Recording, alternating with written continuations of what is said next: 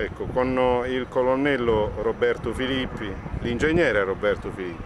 Ingegnere, sì. Eh, siamo sulla pista dell'aeroporto di Galatina perché ci sono in corso le prove per un avvenimento importante che si festeggerà domani, colonnello. Ce lo racconta lei stesso. Io lo racconto in due parole. Domani celebreremo il 25 anniversario della, della Costituzione del decimo reparto manutenzione velivoli, del quale ogni tanto ci troviamo a parlare. Sì. Sono 25 anni che si chiama così, ma le radici del reparto affondano in tempi ben più remoti. Le nostre origini partono sin dal 1943, quando alcuni uomini qui sull'aeroporto di Calatina hanno operato per ricostituire l'aeronautica italiana, dopo l'armistizio appunto del 1943. Io la sto intervistando davanti a un velivolo che lei mi diceva ecco, è perfettamente efficiente e funzionante, anzi anche armato, no?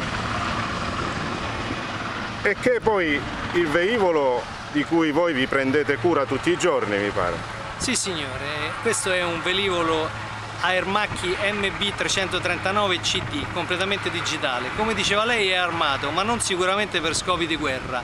Questo velivolo infatti ha fra le sue varie missioni anche quella di Slow Mover Interceptor, in caso di grossi eventi come è stato per esempio il G8 all'Aquila o altri eventi similari, questo velivolo esercita un pattugliamento aereo per impedire a malintenzionati o diciamo a terroristi di poter portare a termine le loro attività non legali e in questo caso appunto è armato.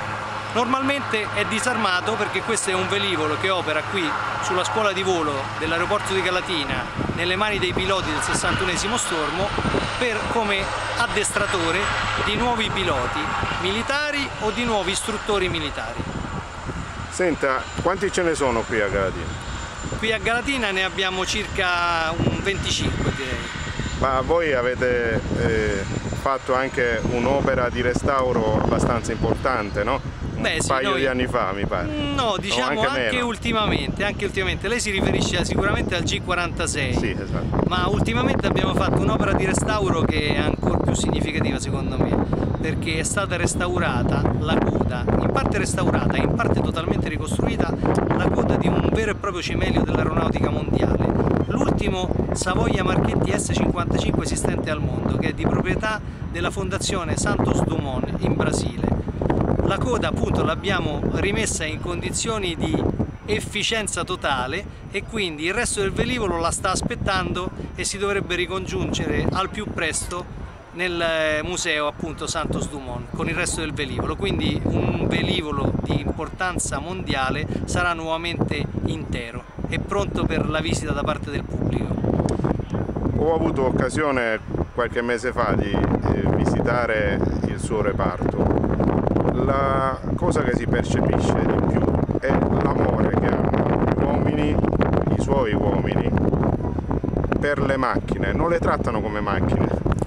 Beh, è un'impressione sbagliata? No, no, assolutamente. Uomini e donne, perché c'è anche sì. qualche donna nel nostro reparto, chiaramente tutti i dipendenti civili della difesa, le donne.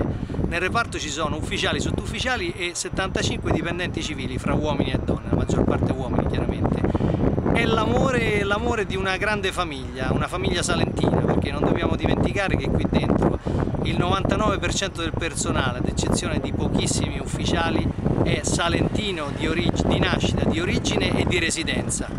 E quindi sto parlando di salentini doc, ci mettono veramente il cuore in tutto quello che fanno e soprattutto la loro professionalità quindi portano avanti l'attività manutentiva sui velivoli ma anche sulle barriere d'arresto di cui noi siamo l'unico ente in Italia a cui è demandato questo tipo di attività.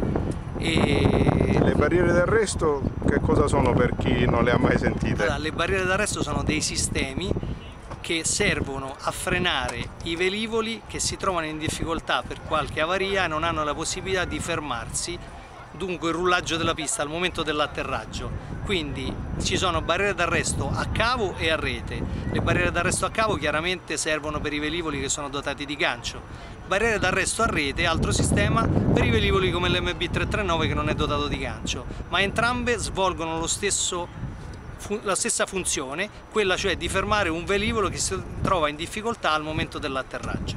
Posso farle una domanda personale? Prego. Ho scoperto che lei è stato addetto militare a Washington, all'ambasciata italiana non è proprio così. Consigliere, Io eccetera. sono stato un assistente tecnico dell'addetto aeronautico e per la difesa a Washington. Sì. Ecco, ma ha mai nostalgia di quei tempi?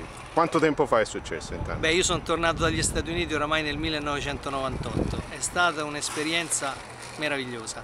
Sono stato lì tre anni, dal 1995 al 1998, insieme alla mia famiglia, mia moglie e mio figlio, che ha avuto anche l'opportunità di imparare bene l'inglese, chiaramente. Sento in parte nostalgia di quei tempi come sento in parte nostalgia di quando giovane ingegnere appena laureato lavoravo a Sigonella in Sicilia ma sicuramente purtroppo fra pochi mesi lascerò l'incarico qui a Calatina sicuramente sentirò un'altrettanto importante nostalgia per l'aeroporto di Calatina Lo lascerà in che senso? e verrò trasferito nuovamente a Roma probabilmente al comando logistico al superiore comando logistico Chiaramente io oramai mi sento in parte salentino, devo dire, perché tre anni e mezzo vissuti qui segnano sicuramente. Mio figlio si è anche fidanzato nel Salento, quindi rimarrò comunque legato e questo mi fa enorme piacere e lascerò il reparto con una nostalgia incredibile perché comandare questi uomini è veramente un onore e un orgoglio indicibili. Grazie comandante. Mi fa piacere essere qui nel Salento. Grazie. Prego.